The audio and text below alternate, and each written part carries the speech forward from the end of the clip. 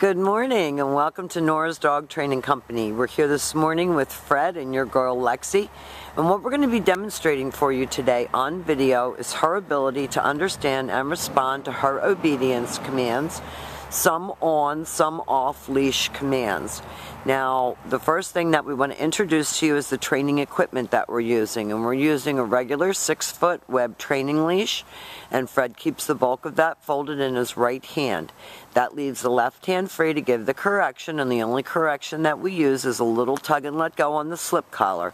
And that is the second piece of equipment that we're using and she is sitting very nicely at Fred's left, which is where all of our obedience training is done. And the first exercise that they're going to demonstrate for us is heeling. The command is Lexy heel.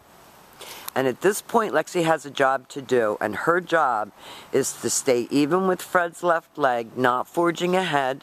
And each time that he stops his feet, she knows to sit automatically to wait for her next command. Lexy's biggest problem is that she can be temperamental and she thinks that she can call the tune as to when you start and stop obedience training. And what we're going to help teach you is how to incorporate all of this into your everyday situations. Now, the next exercise that Fred's going to demonstrate for you is the sit stay. He's going to use the open uh, flat of his left palm about an inch or so from her muzzle and the one word firm command to stay. He drops his leash and walks away. And she likes to lay down on her long sit stays, and I think it's just a comfort thing with her. But Fred's going to get her up out of it and make her complete it as it was taught. This time he'll hold on to the leash to make sure that she completes the exercise.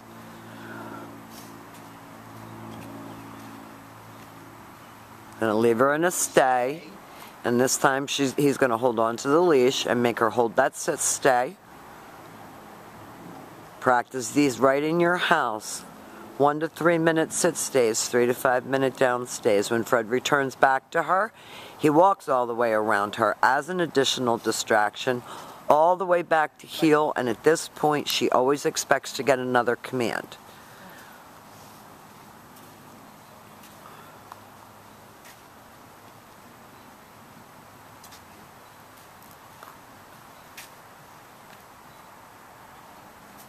Going to leave her in another stay. And he's going to demonstrate the recall or the come on command. He praises her on the way in. And she should come and sit. She shouldn't come and bowl you over. And then back to heel and back sitting. He leaves her again in another sit stay.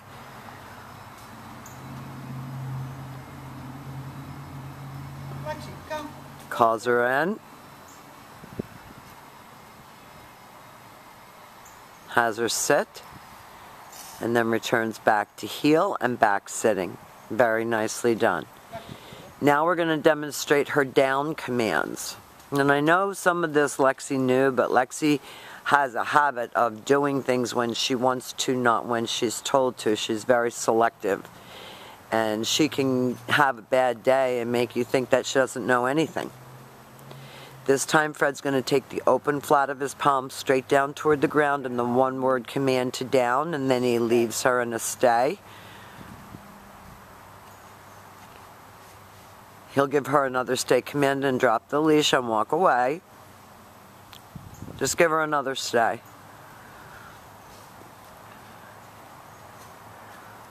Stay.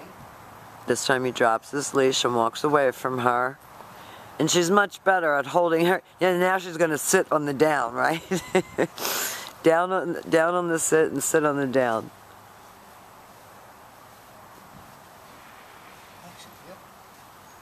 Very good. Now we're going to demonstrate that down from a heel one more time. So always have your dog seated before you attempt to put her into a down.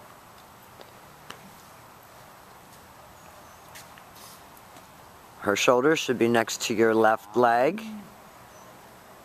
Stay. And you should practice these exercises everywhere that she goes. When you take her to the barn, at home, in the house, outside. Repetition, repetition, repetition. This time Fred's going to call her out of that exercise.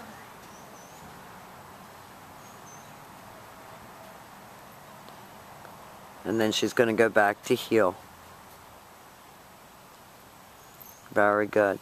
Now the next exercise that we're going to demonstrate for you is you're down from a distance.